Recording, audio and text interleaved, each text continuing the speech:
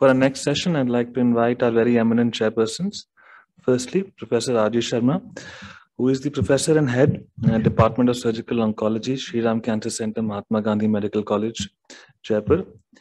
Uh, sir has um, a senior professor and head pre- previously um, in the Department of Surgical Oncology at SMS Medical College, Jaipur. He has received multiple traveling and UICC fellowships, uh, including one at the MSKCC New York. He received the Most Distinguished Faculty Award of SMS Medical College in 2021. Uh, he established the Surgical Oncology Department and started the MCH course in Surgical Oncology at SMS Medical College uh, starting from 2019. He is the founder and secretary of the Rajasthan Cancer Society. He is the next uh, governing council member of the ASI and the ex-president of the Rajasthan chapter of the ASI. I'd also like to welcome Dr. Hemant Malhotra, Sir, after training at the prestigious Tata Memorial Cancer Center in Bombay, as well as MSKCC New York, set up the Division of Medical Oncology at SMS Medical College Jaipur, where he worked for more than three decades. He, along with his team, is credited with the first bone marrow transplantation in the state of Rajasthan. He is currently the director of the SRCC Center at Mahatma Gandhi, as well as being the professor and HOD of the Department of Medical Oncology at the Mahatma Gandhi Hospital in Jaipur. His department has been the first to start the MCI and NMC recognized DM medical oncology seats in the state of Rajasthan. He has been a prior president of the, Indian Society of Medicine of Medical and Pediatric Oncology and has more than 100 peer-reviewed publications to his credit. I request them to kindly invite uh, my previous teacher, Professor T.D. Yadav from Chandigarh. Thank you very much, Dr. Sareen. Uh, on behalf of my co-chair and my very good friend, Dr. Raj Govind, I'd like to thank the organizers of this meeting uh, for this opportunity. Excellent conference, like a lot of knowledge being disseminated uh, and a lot of knowledge being gained. Uh, so the next topic in line is incidental gallbladder cancer. You know, uh, uh, many times, you know, particularly oncologists get references uh, we had a surgery for gallstones, uh, and the pathologist has reported uh, cancer in the gallbladder. What should we do now? So, to talk about all those uh, situations, uh, we have a very, very eminent speaker. And I'd like uh, my co chair, Dr. Raj Govind, to please introduce and invite the speaker for his talk. Over to Dr. Raj Govind. Thank you very much. Good afternoon, and thank you for making me happen here. I would request Dr. T.D. Yadav from Chandigarh. He is an additional professor of surgery and surgical gastroenterology at the PGI Chandigarh. He did his training in surgical gastroenterology from SGPGI Lucknow. He has special exposure in HPB surgery and liver transplantation at Seoul and Leeds. And I'm told that he recently did uh, liver transplantation after a long time at PGI Chandigarh. So, uh, listening to Dr. Yadav, I think we would be able to deal with incidental gallbladder cancers in a better way, which is a very, very devastating situation, both for the patient as well as for the surgeon himself. So, Dr. Yadav, sir. Uh, thank you, sir. Namaskar. Uh, pradam to Professor Kapoor, हमारे teacher, and uh, all other friends who are in the audience and uh, listening to us online. So topic given is uh, incidental gallbladder cancer. I just added, sir has given incidental gallbladder cancer. I added surgical decision making. based on uh, multiple things which we are facing locally. And also there is, there is evidence in the literature regarding the management.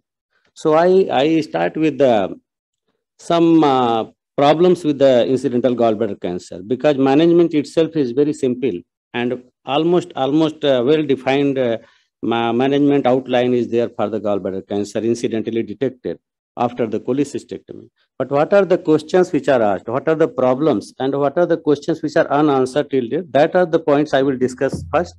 Then uh,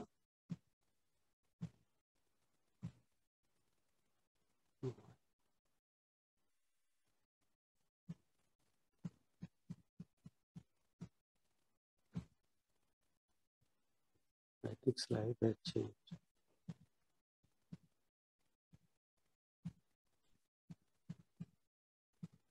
Can you change my laptop? I think my slide had changed. Dr. Santosh, just can you give me the laptop?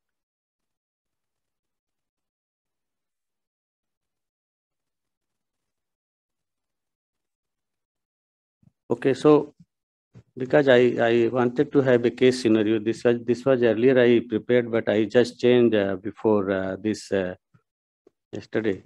So most probably this has changed.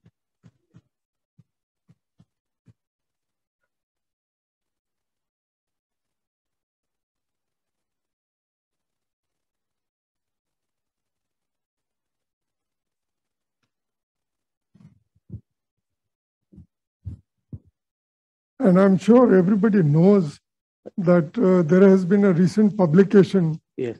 uh, including Dr. Kapoor and Dr. Yadav in the abdominal radiology recently, which elaborate on Yeah. the uh, gallbladder uh, GB RAD system Ah, to this is- risk stratify uh, in the pre- preoperatively, whether this is going to be a malignant or a routine cholecystectomy. I think Dr. Yadav is also going to talk about that. So the, regarding GB RADS, it is for the all gallbladder cancer. So uh, this is not that. This one. So this is all uh, gallbladder. And our uh, our radiologist, very young and enthusiastic, Dr. Pankaj Gupta uh, took the lead, and then guided by sir and uh, multiple people uh, nationally and internationally, and uh, multiple times revision was done, and uh, at the end it has been published. So uh, sorry for the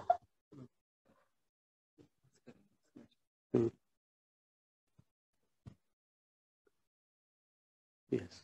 So uh, to start with, um, I'm sorry for two minutes this thing, but uh, I can, I will, I, I think I will be able to finish on time. So that particular article I did not include because it is not only incidental gallbladder cancer.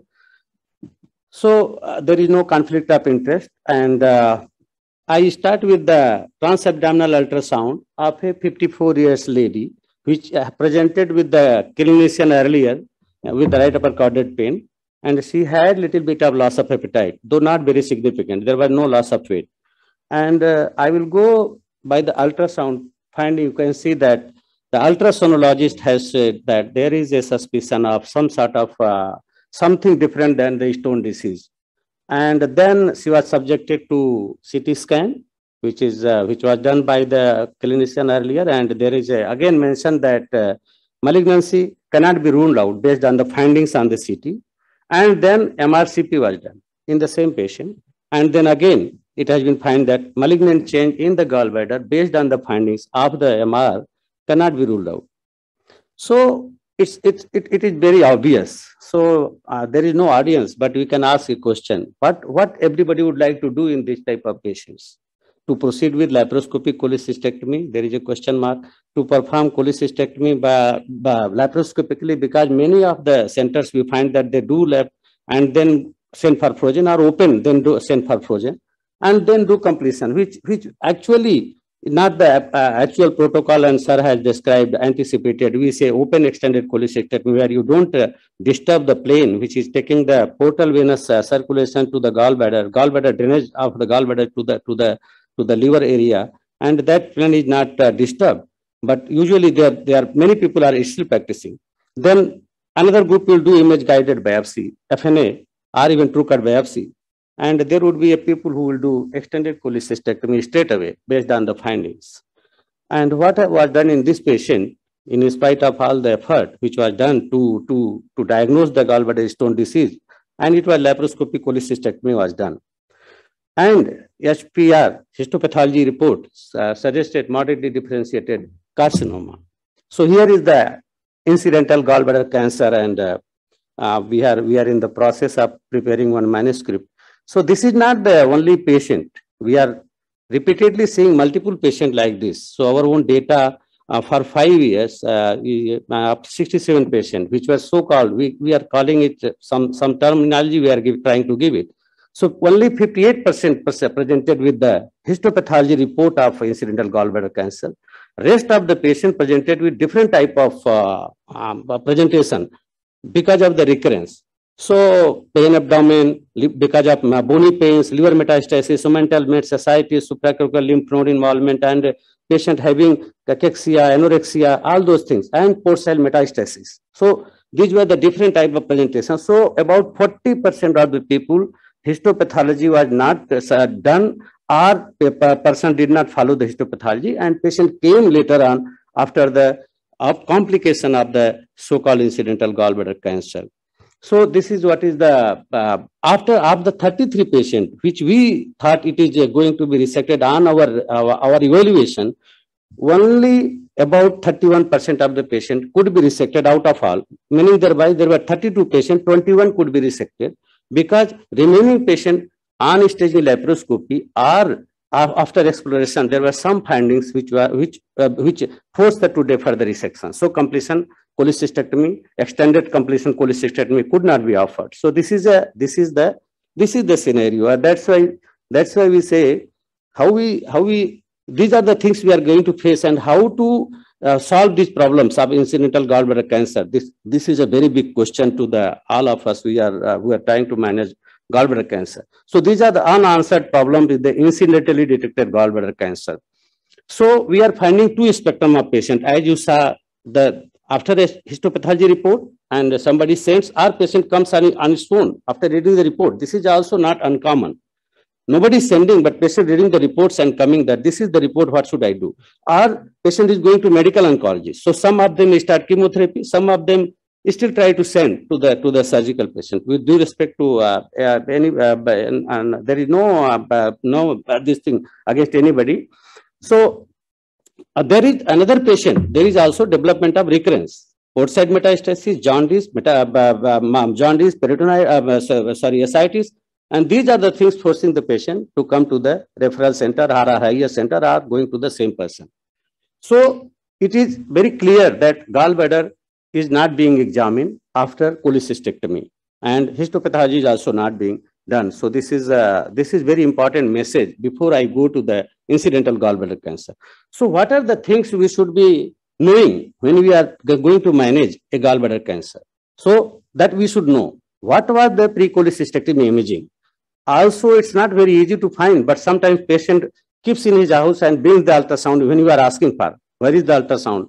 Then what was the surgery it performed? Laparoscopic or open cholecystectomy. Significant number of the patient open is being done in our area, North, in, North India, in Punjab. Was there bile spill? The most difficult question to be answered. So if you try to find out the the the um, phone of the operating surgeon, and if he is very cordial enough to answer to your query, he can tell that whether bile is spilled or not. Then Viagra was used to extract the gallbladder or not, because there is nowadays data enough data to suggest that port site routine excision is not uh, recommended.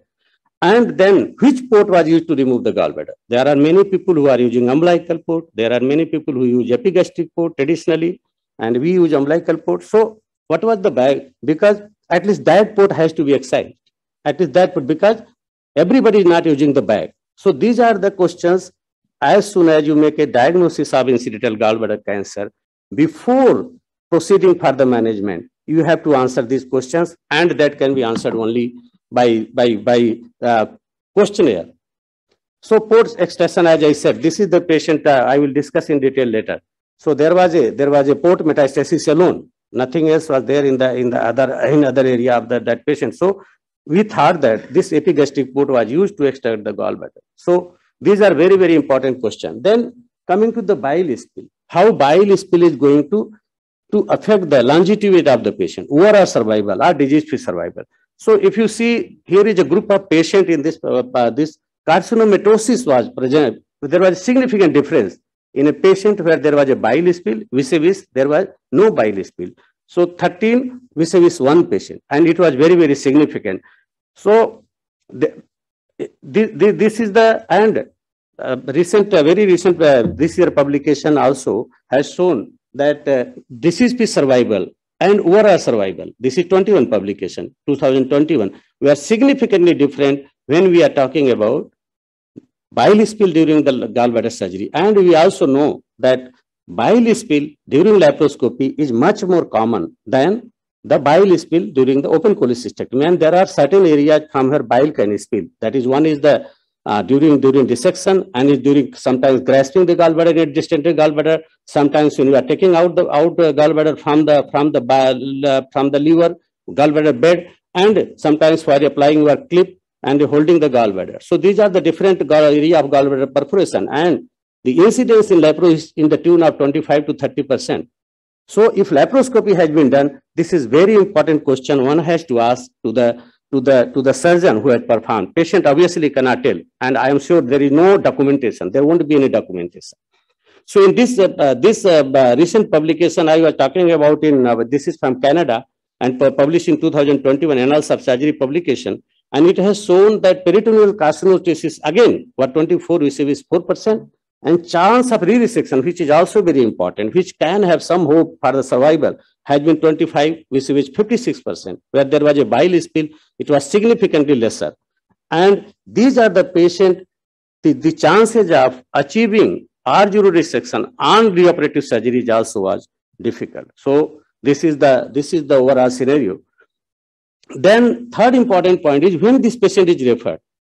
So we are finding patient coming after one and a half years with a small port metastasis. Two years. One patient I found after 12 years after this thing because it was went on growing, growing, growing for five, six years.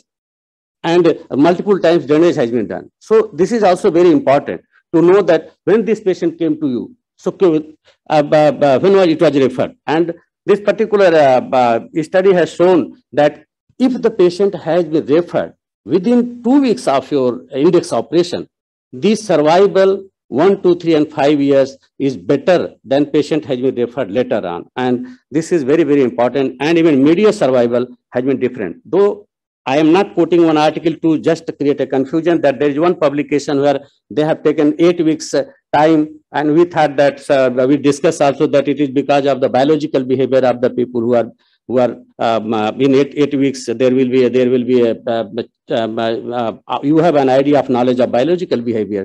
So that's why probably patient who were referred, but done before eight weeks will have a worse prognosis than after, operated after eight weeks. But that still we are following the same formula. The moment we get the patient, we are operating. So trying to keep the thing simple we have we have uh, we follow the same protocol that as soon as patient is come we follow the protocol and operate so look for the pre-operative imaging also. This is also very, very important. That will give you a clue, clue that patient had disease, but it was either ignored or a surgeon was not aware or he could not give any attention to the particular problem. So these are the these are the important question to be asked. Was the specimen cut during the operation? And what are the findings? Was there polyp? Was there stone? What was the size of the stone? What was the thickening? What was it measured during the surgery? And what was the location? Because ultimately all these factors they they they they are responsible for the outcome of the, the resection any lymph node suspicious. Uh, and slide review, review is also very very important. We always review the slide. Pgi will not allow anything to do without reviewing the slides if it is available. And then what was the cystic duct margin? This is again one of the very difficult area when you are operating reoperative surgery. So we always request that everybody should be cutting the gallbladder after uh, completing the operation on his own hand and see, look further this thing. At least some patient can be benefited by, by, by, by, by, by the looking at the gallbladder. So this is our own data. This is the condition that PT3, PT3 and T4 were about 31%. So this is also from the incidentally detected gallbladder cancer. So what are the risk factors? Because these are the things only if you start with this, then you can talk to the patient that I am going to reoperate. This are this is going to the about to the to, to be the outcome. So thus from the from this particular side, poorly differentiated P22 tumors and tumor size of more than one centimeter has been found to be with a significant lesser outcome in after the re-resection, worse outcome in comparison to the patient who had this.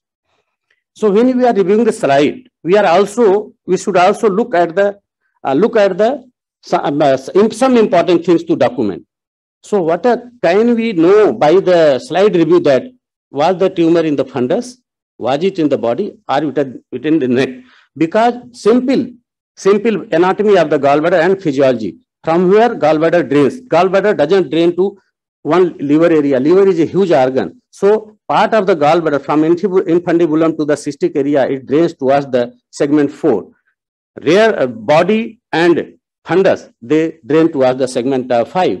So when you are going to do completion extended cholecystectomy, then one has to take maybe anatomical resection because this is one area also needs to be discussed. Anatomical resection rather than going for a only small wedge resection. But this is no uh, evidence for this. But these are, these are the thinking process that as we decide in the preoperative period, same decision should be taken about the uh, completion extended cholecystectomy.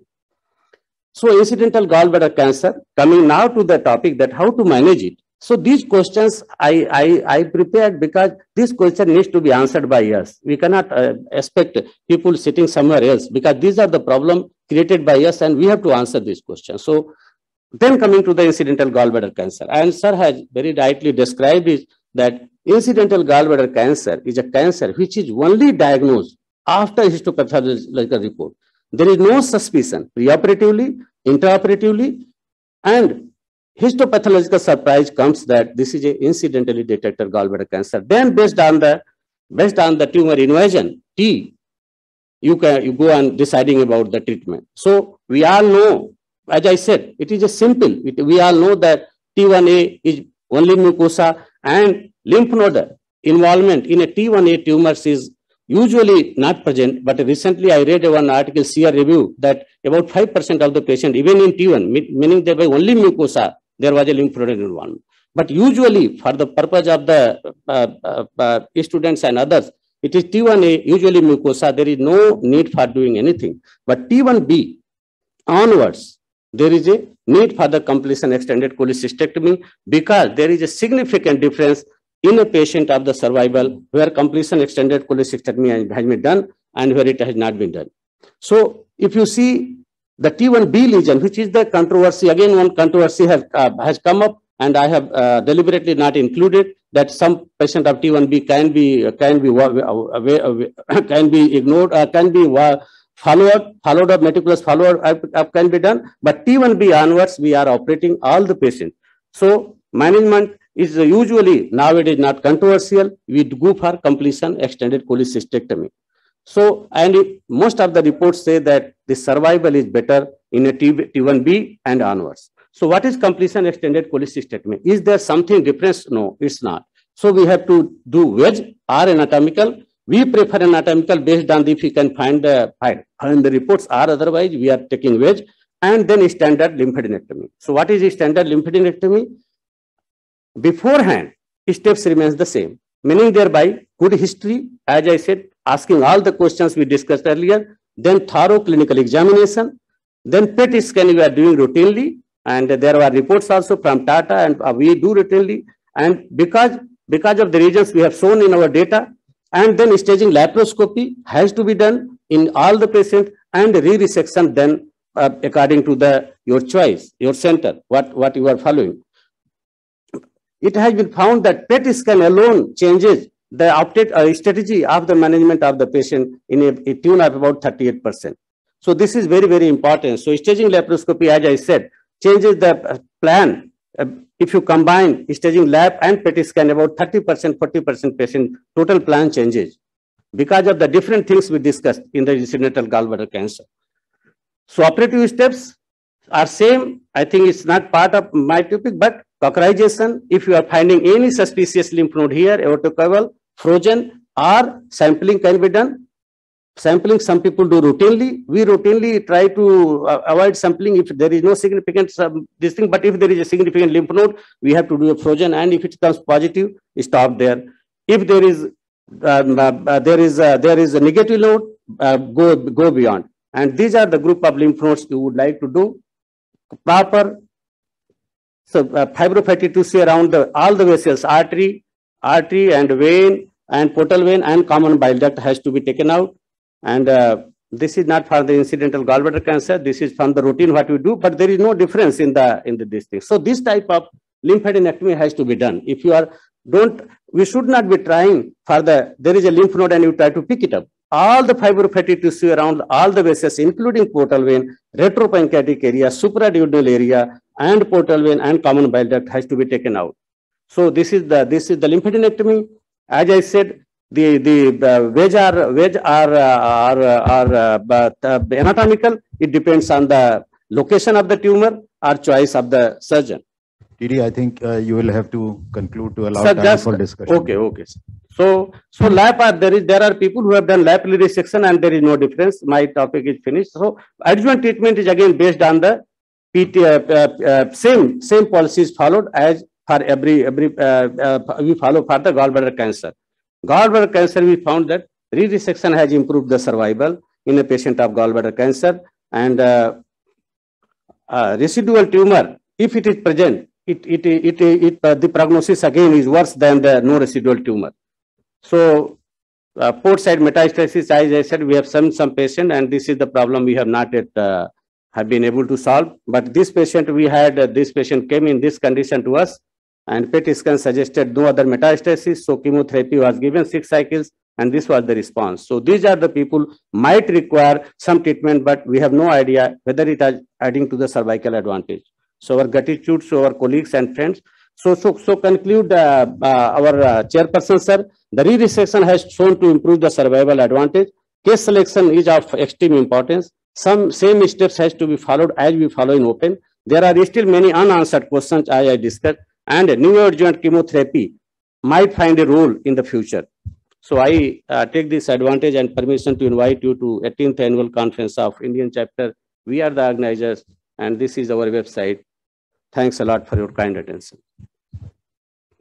Uh, wonderful talk, sir. You have crystallized the whole concept beautifully. There is a question role of PET uh, CT scan in T1 to abandon completion surgery by Dr. P.K. Mishra. Uh, Role of PET scan. roll up, as I said, the, uh, when T1A is coming, which is I have not seen. Very to be very frank, I have yet to see a patient where in my this career, whatever I have, 20, 21 years in PGI, T1A disease coming to our uh, referred to our hospital, I have not seen. Preoperatively, So- any role of PET scan. So uh, T1B and onwards, we follow the same protocol. We But- follow the same protocol. We do a PET scan, and there have been uh, uh, results of the PET scan on the T1B and onwards patient, So in which case, preoperatively, preoperatively. will you do not uh, incidental gallbladder, but in a case of suspected cholelithiasis or a mass, which case would you do a PET scan? We are not talking about this patient. No. So in all patients where there is a CT scan suggested resectable disease, we go for PET scan preoperatively. Okay. Uh, how to find if aortocaval lymph node is suspicious or not? It is the surgeon's decision whether to send it to frozen or not.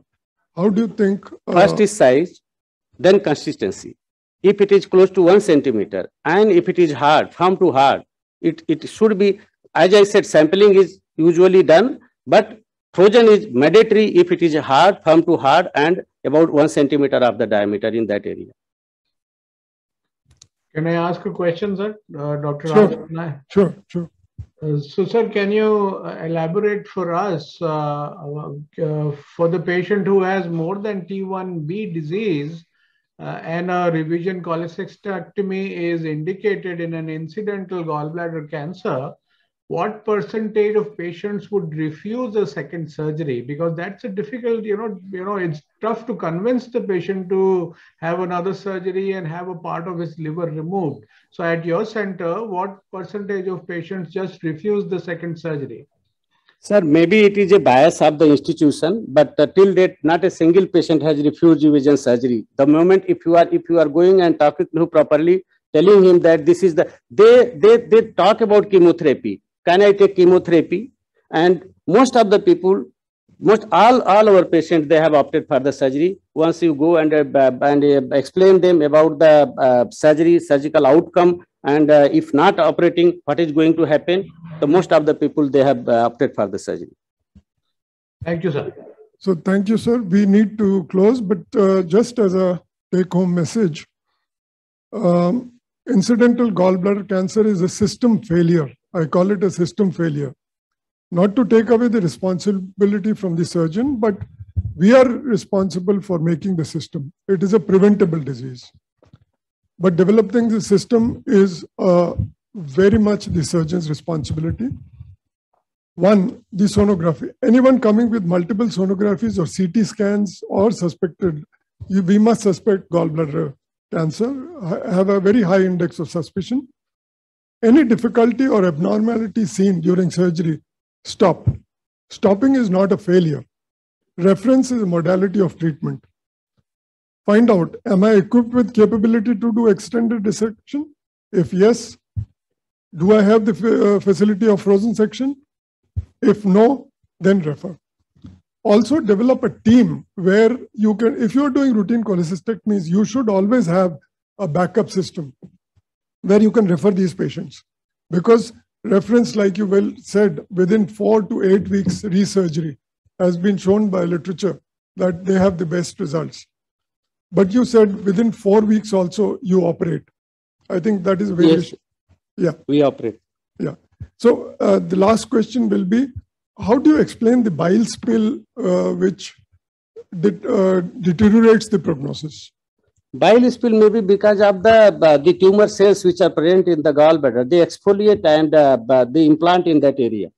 So that is the explanation given for the bile spill. And when you are doing laparoscopy and there is a bile spill, these cells they they they they, they just because of the pneumoperitoneum they go and stuck up to the uh, uh, certain port uh, port site areas also. That is one other explanation given for the bile spill, uh, bile spill and increasing the incidence of the carcinomatosis. So a very important message that you have given that all gallbladders should be taken out in a bag Yes, sir. so that we not, not need not do a port site excision if it turns out to positive. Well, thank you very much, sir. Thank very nice uh, presentation. Thank you, sir. Thank you. Thank you, Hemant. Thank you, sir, for inviting Thank you very much. Really enjoyed.